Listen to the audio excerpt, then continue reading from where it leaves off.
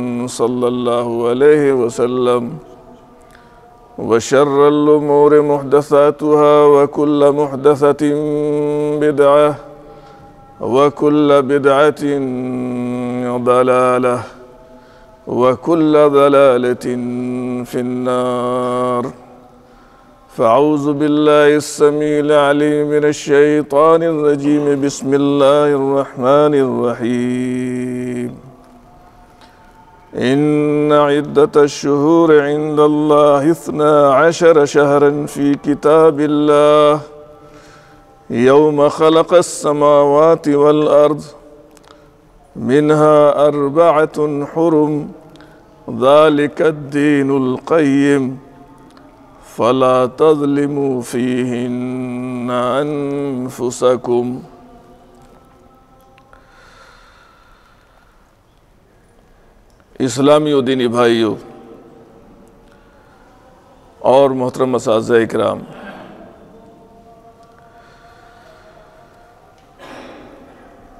जिन अयाम से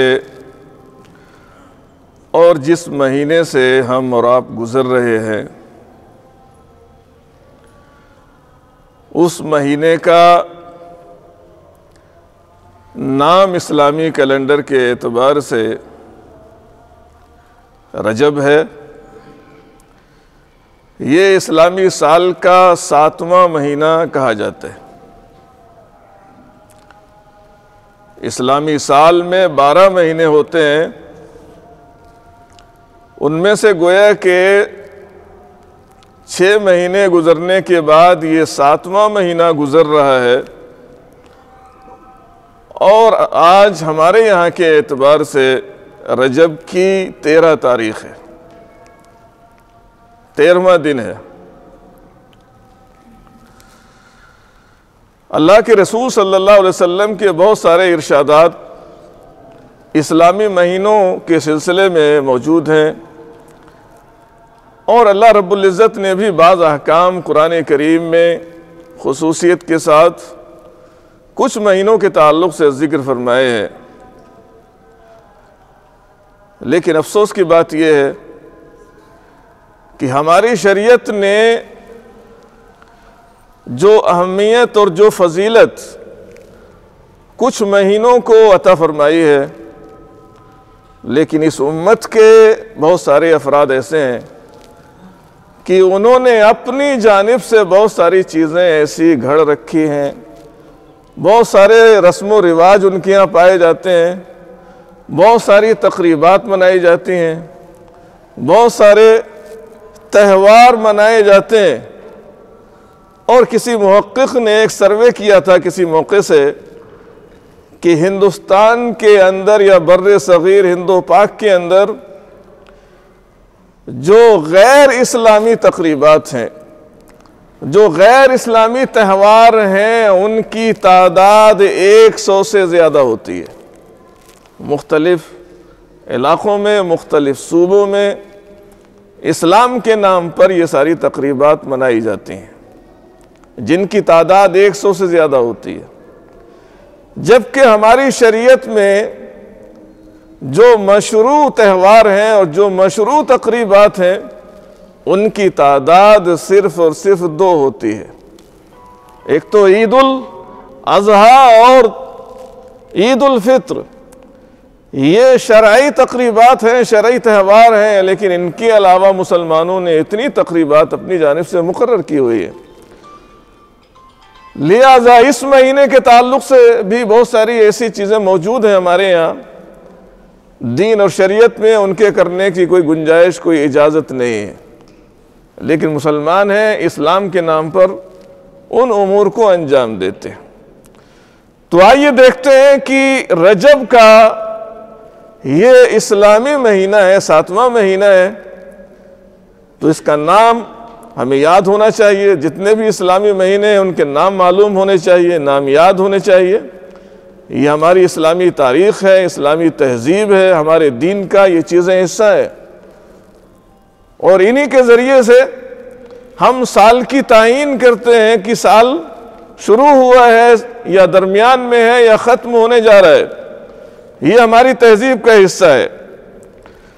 आइए, रजब हर चीज़ का नाम होता है तो उसकी कोई वजह होती है। और उसका कोई सबब होता है। जिस तरह से मैंने इससे पहले, हो सकता है आपसे गुफ्तगु की हो रबी अव्वल के सिलसिले में, कि इसको रबी अव्वल क्यों कहा जाता है महीने को, जिसमें अल्लाह के रसूल सल्लल्लाहु अलैहि वसल्लम की विलादत बासादत हुई है। रजब को रजब क्यों कहा जाता है? उलमा ने इसकी वजह बयान की है और ज़िक्र की है। अरबी ज़बान का ये लफ्ज़ है और जितने भी महीने हैं, सारे के सारे अरबी ज़बान में नाम रखे गए हैं। तो रजब का मतलब क्या होता है? इसका मफहूम क्या होता है? अरबी जबान के अंदर कहा जाता है, रजबा युरजबो तरजीबन या रजबा यरजुबो रजबन। इसके माना होते हैं किसी की ताजीम करना। रजब तो हाज शहर अरब लोग बोलते हैं कि मैंने इस महीने की ताजीम की और इसी तरीके से कहते हैं कि रजबा फलान मौला फला शख्स ने अपने मालिक की ताजीम की। तो ये महीना ताजीम वाला महीना है, अजमत वाला महीना है। और इसी सिलसिले में एक आलिम ने लिखा है कि इसको ये नाम क्यों दिया गया है? आखिर क्या वजह है कि ये ताजीम वाला महीना है, अजमत वाला महीना है? कहते हैं सुम लेन कानू युजिमू अहले अरब, इस्लाम के आने से पहले भी इस महीने की ताजीम करते थे। उस, उसकी अजमत के वो मोतरफ थे। कि ये महीना आम महीनों की तरह से नहीं है, ये अजमत वाला महीना है। वला यस्तहिलफी अलकताल। और खसूसियत के साथ जंगो जिदाल इस महीने में नहीं किया करते थे। लड़ाई, जंग, लूटमार। और आपको मालूम होना चाहिए कि अहले अरब की रोजी रोटी का दारो मदार, उनकी मीशत का दारो मदार, उसकी बुनियाद बहुत हद तक इसी लूट मार पर थी। एक कबीला दूसरे कबीले पर हमला किया करता था, जंग किया करता था, लूट मार किया करता था। इसी तरह से यह सिलसिला चलता रहता था।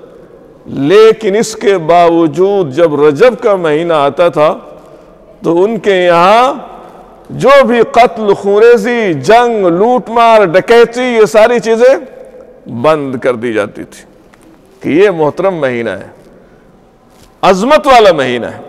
इसलिए इसको रजब का नाम दिया गया है। और कभी कभी क्या है, इसी के साथ जिसके बाद वाला महीना आता है, शाबान आने वाला है शाबान और रजब दोनों को मिलाकर रजबैन भी कहा जाता था। तो ये तो नाम का मसला रहा। और इसी तरीके से एक वजह तस्मिया लोगों ने यह भी ज़िक्र की है। चूँकि ये महीना जिन अयाम में आता है, इस महीने में अहले अरब के यहाँ खजूर पर फल आना शुरू हो जाता है। खजूर पर जो खोशे लटकते हैं, उनको रोकने के लिए या खोशा, जिस शाख में है, वो शाख टूट ना जाए। कभी कभी ऐसा होता है कि खजूर के खोशे पर बहुत ज़्यादा खजूरें आ जाती हैं तो उसको ज़रूरत होती है सहारा देने की, टेक लगाने की। हमारे यहाँ भी लोग आम के बागात में, जब बहुत ज़्यादा फल आम के पे दरख्त पर आ जाता है तो लोग नीचे से टेक लगा देते हैं, सहारा लगा देते हैं। लोग इस महीने में खजूर का मौसम हुआ करता था तो खजूर के दरख्तों को टेक लगाया करते थे। लिहाजा रजब का एक माना यह भी बयान किया गया। अब सवाल यह है कि कुरान और हदीस में इस महीने के ताल्लुक से क्या हिदायत मौजूद है या नहीं है? मैंने जिस आयत की आपके सामने तिलावत की है सूर्य तौबा की आयत नंबर 36 है, इसमें अल्लाह रब्बुल का इरशाद है इन इद्दत शहूर इतना अशर अशारन फ़ी किताबिल्ला महीनों की तादाद अल्लाह के यहाँ बारह होती है। बारह महीने, उनकी तादाद बारह है, उनके नाम भी हैं। फ़ी किताब अल्लाह की किताब में। अल्लाह की किताब से मुराद मुफसरीन ने लोहे महफूज को का ज़िक्र किया है कि अल्लाह रबुल्ज़त ने सारी दुनिया के हालात और सारी चीज़ें लोहे महफूज महफूज में लिखी हुई हैं। और उसी में ये बात भी है कि महीने कितने होंगे। बारह तादाद उसके अंदर लिखी हुई है। यौम खलकसमावत वल अर्ज़। उसी दिन से, जिस दिन से अल्लाह ताला ने आसमान और ज़मीन को पैदा फरमाया है। यानी जब से ये दुनिया वजूद में आई है, अल्लाह ताला ने ये महीनों की तादाद बारह मुकर की है। इसका मतलब यह हुआ कि अब किसी शख्स को इन महीनों की तादाद में कमी या ज़्यादा करने की गुंजाइश नहीं है, इजाज़त नहीं है। ये तादाद बारह ही रहेगी। और लोग इस तरह की कोशिशें करते रहते हैं। जिस तरह अंग्रेज़ी महीनों के सिलसिले में आता है, अंग्रेज़ी रूमियों ने जब इस अंग्रेज़ी महीनों की इब्तदा की थी, उनकी तादाद दस हुआ करती थी। और इब्तदा साल की मार्च से हुआ करती थी और इख्ताम दिसंबर पर हुआ करता था। लेकिन बाद के जमानों में लोगों ने इकट्ठा होकर यह राय मशवरा किया कि इन महीनों को बारह कर दिया जाए, जनवरी और फरवरी का इजाफा कर दिया गया। इसलिए उनकी यहाँ भी तादाद महीनों की बारह हो गई है। ये तो उनका मसला है, लेकिन हमारी शरीयत का मसला है, ये कुरान का फैसला है। कभी भी मुसलमानों को इनकी तादाद कम या ज़्यादा करने के सिलसिले में नहीं सोचना है। बारह है तो बारह ही रहनी है। और उसके बाद फरमाया, मिनहा अरबात उनम उनमें से चार महीने हुरमत वाले बारह में से चार महीने क्या मतलब है हुरमत वाले वाले काबिल एहतराम है। उनकी अजमत है। और कैसे अजमत है वो बात आगे आ रही है। और वो चार महीने कौन कौन से अल्लाह के रसूल ने हदीस में ज़िक्र भी फरमाती है। मैं भी आपके सामने ज़िक्र कर देता हूँ। तीन महीने तसलसल के साथ आते हैं। जिल कादा जिलहिजा और मुहर्रम। ये लगातार है तीनों। और एक महीना ये जुमाद सानी या जुमाद उखरा और शाबान के दरमियान आता है जो रजब है। ये चार महीने हुरमत वाले महीने हैं। इनमें जंग, किताल इस्लाम से पहले भी मना था, इस्लाम के आने भी, आने के बाद भी इस्लाम ने इन महीनों की हुरमत को न सिर्फ़ ये कि बाकी रखा है, बल्कि मजीद और इनकी हुरमत में इजाफा किया है, अहमियत में इजाफा किया है, ताकीद की है मुसलमानों को। क्या है ताकीद? हुआ गया रही है। कहा दाल दीन उलकैम यही दुरुस्त दीन है। महीनों की तादाद का बारह होना और उनमें से चार महीनों का हुरमत वाला होना, यही दुरुस्त दीन है। यही सही तरीका है। फला तजलिमू फ़ी हिन्ना अनफुसकुम। लिहाजा अल्लाह ताला ने हमें और आपको और क़यामत तक आने वाले सारे इंसानों को यह हिदायत दिए कि इन चार महीनों में क्या काम नहीं करना है हमें। का फला तजलिमू फ़ी अनफुसकुम। इन महीनों में तुम्हें अपने ऊपर जुल्म नहीं करना है। जुल्म तो आम अयाम में भी मना है, हराम है। इसका मतलब यह नहीं है कि आप इन महीनों को छोड़कर बाकी महीनों में जुल्म और ज्यादती कर सकते हैं। नहीं। बल्कि खसूसियत के साथ इन महीनों में अगर कोई जुल्म करेगा, उसकी सजा आम महीनों के मुकाबले में अल्लाह ताला के यहाँ और ज़्यादा होगी। जो शख्स भी इन महीनों की उर्मत को पामाल करेगा, तोड़ेगा, जंग करेगा, लड़ाई करेगा, झगड़ा करेगा यह भी जुल्म है। और किसी पर दस्त दराजी करेगा। हाथ चलाएगा। या अपनी कुत और ताकत और अहदे और मनसब का गलत इस्तेमाल करेगा मिस यूज़ करेगा। यह भी जुल्म है। अल्लाह ताला की यहाँ इसकी सजा जो आम महीनों में होती है, उससे कहीं ज़्यादा अगर कोई शख्स इन महीनों की उर्मत को पामाल करता है, उस सूरत में अल्लाह ताला के यहाँ सख्त सजा होगी। लेकिन अफसोस की बात यह कि बहुत से मुसलमानों को पता ही नहीं है कि हम किन महीनों से गुजर रहे हैं, किन अयाम से गुजर रहे हैं। हमें क्या नहीं करना चाहिए? और सबसे बड़ा जुल्म कुरान ने जिस चीज़ को करार दिया है, वो क्या है? इन शिरका अजीम। शिरक ये सबसे बड़ा जुल्म है। आप सोचिए, इससे बड़ी कोई, इससे बड़ी बड़ी कोई नाइंसाफी हो सकती है कि अल्लाह रबुल्ज़त का जो हक इबादत है, वो किसी और को दे दिया जाए। किसी बुज़ुर्ग को दे दिया जाए, किसी पीर को दे दिया जाए, किसी वली को दे दिया जाए। किसी नबी को दे दिया जाए। और न जाने कितने ऐसे अफराद हमारे यहाँ मौजूद हैं। अल्लाह रबुल्ज़त का जो हक इबादत है, वो दूसरों को दे देते हैं। वहाँ जाकर सजदा करते हैं। वहाँ जाकर मिन्नतें मानते हैं। उनसे मुरादें पूरी कराते हैं। ये हक सिर्फ़ अल्लाह रबुल्ज़त का है। लिहाजा सबसे बड़ा जुल्म ये होगा, इस महीने में अगर शिरकिया अमाल हमारे दरमियान पाए जाएँ और हम ऐसे अमाल अंजाम दें।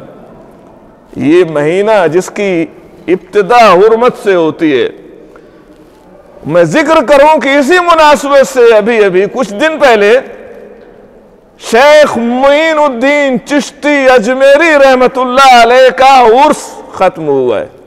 ये किस महीने में आता है? हर साल आता है ये। किस महीने में आता है? रजब की पहली तारीख से शुरू होता है और अगर मेरे इल्म के मुताबिक छह रजब तक ये उर्स चलता है। आप जानते हैं कि इस उर्स में क्या होता है? सैकड़ों लोग नहीं, हज़ारों लोग नहीं।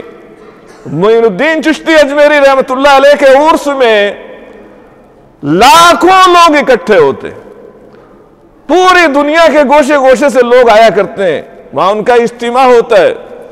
और क्या करते हैं वो भी आप जानते हैं। मैं उस तफसील में नहीं जाना चाहता क्या करते हैं। लेकिन बहरहाल, कुरान ने मना फरमाया।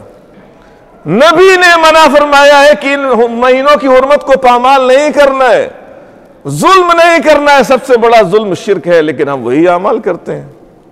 आखिर, बुजुर्गान दीन के मज़ारात पर इस तरीके से इकट्ठा होने की शरीयत में कोई गुंजाइश है? अल्लाह के रसूल सल्लल्लाहु अलैहि वसल्लम की एक हदीस, सही हदीस है। सुनन अबू अबू दाऊद की रिवायत है, अल्लाह के रसूल ने दुआ फरमाई थी। क्या दुआ है?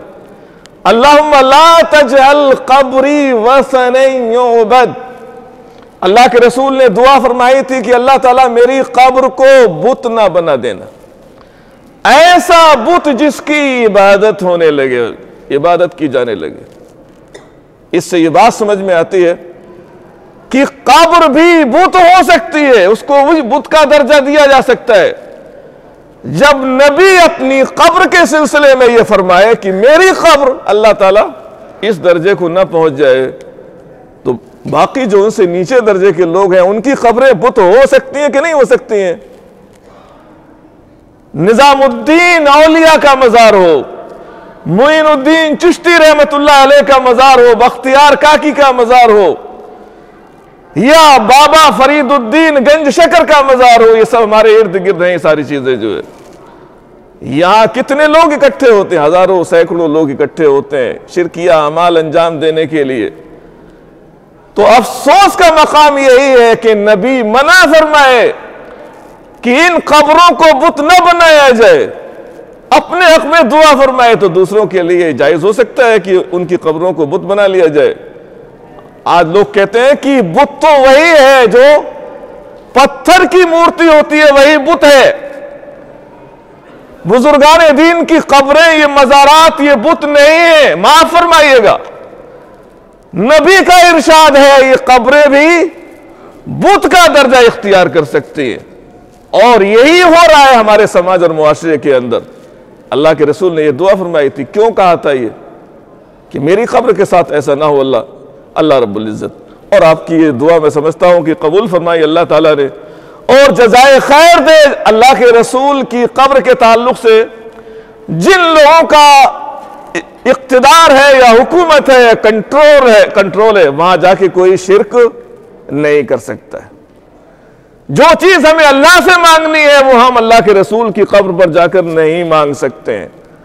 ज़ाहरी तौर से वो लोग इसका एहतमाम करते हैं कि कोई शिरक या अमल अल्लाह के रसूल की कब्र के साथ न किया जाए। क्यों आपने ये फरमाया था? आपके सामने तजुर्बात थे। हदीस के आगे अल्फाज हैं लान अल्लाह कौमन अल्लाह ने ऐसे कौम पर लानत फरमाई है। इतखजु कबूर आम्बिया मसाजिद, जिन्होंने अपने नबियों की कब्रों को सजदागाह बना लिया। वहाँ कब्रों को जाकर सजदा करते थे। कौन करते थे? यहूद करते थे। अब भी करते हैं, नसारा करते थे, अब भी करते हैं, अपने नबियों की खबरों पर सजदा करते हैं जाके। और हमारे यहाँ कोई ऐसा मजार नहीं है जहाँ लोग सजदा ना करते हो कब्र को। अगर से लोग कहते हैं कि हम सजदा नहीं करते हैं, लेकिन आप देखेंगे सजदा करते हैं।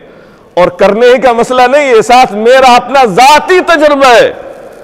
कोई अगर जियारत के लिए चले जाए आप यही निजामुद्दीन औलिया के मजार पर चले जाइए। अगर आप कमज़ोर अकीदे के इंसान हैं तो आपसे वो सजदा करा लेंगे वहाँ पर। तवाफ की शक्ल में कब्र का तवाफ कराया जाता है जब निकलते हैं तो वो मुजाविर आपकी गर्दन पकड़ के ज़बरदस्ती वहाँ मजार में दाखिल कर देता है कि यहाँ बुज़ुर्ग साहब को सजदा कीजिए जो है। यहाँ मात पेशानी टेकिए। सजदा क्या होता है? पेशानी टेकने ही को सजदा कहा जाता है। सजदा ज़बरदस्ती कराया जाता है। तो मैं अर्ज़ ये कर रहा था कि अल्लाह ने तो फरमाया कि इन रजब के महीनों में हमें जुल्म नहीं करना है। लेकिन हज़ारों, लाखों, करोड़ों मुसलमान खुल्लम खुल्ला जुल्म करते हैं। कोई उनसे कहने वाला नहीं है, कोई समझाने वाला नहीं है। आइए। और क्या जुल्म होता है? और भी जुल्म होते हैं वो सारी तरह की। जंगे भी हो, लड़ाई भी होती है हमारे दरमियान इन महीनों के अंदर। जबकि मुशरकिन के बारे में आता है कि इस महीने, इन महीनों का इतना अदब करते थे, अगर उनके बाप का कातिल नज़र आ जाता था, या बेटे का कातिल मिल जाता था, या भाई का कातिल भी इस महीने में उससे मुलाकात हो जाती, कहीं नज़र आ जाता था तो बिल्कुल उससे छेड़छाड़ नहीं करते थे। क्यों? उनके दिमाग में ये बात थी कि इस महीने में लड़ाई नहीं करनी है, झगड़ा नहीं करना है। लेकिन क्या हम इन चीज़ों की पाबंदी करते हैं जो हमारे लिए लाजमी और ज़रूरी है? हमें भी लड़ाई नहीं करनी है, झगड़ा नहीं करना है, शिरक नहीं करना है। और जुल्म, गुना, जो आम गुना है, सुबह से शाम तक हम करते रहते हैं, वो भी नहीं करना है। इसलिए कि गुनाहों की सजा भी अल्लाह ताला ने जो लोग इस महीने की हरमत को पामाल करेंगे, उनके लिए सख्त सजा रखी है। तो ये तो कुरान का फैसला है। आइए अल्लाह के रसूल ने क्या फरमाया इसी के ताल्लुक से? अबू बकर रज़ी अल्लाह तहों की रिवायत है, कहते हैं नबी वसल्लम खतब फ़ी हजती अल्लाह के रसूल ने अपने हज के मौके से खुतबा दिया। क्या फरमाया? फ़काला अला इन जमाना कद इस्तदारा का हैत ही योम खलक अल्लाहमावती वल अर्ज़। अल्लाह के रसूल ने फरमाया कि जमाना घूम घुमा कर अपनी असली हालत पर आ गया है। और उसी हालत पर आ गया है जिस पर अल्लाह ताला ने आसमान और ज़मीन को पैदा किया था, उस दिन जिस हालत पर था। यानी इस्लामी साल की इब्तदा मुहर्रम से होती थी और इंतहा जिलहिजा पर हुआ करती थी, ये तरतीब थी इस्लामी साल की।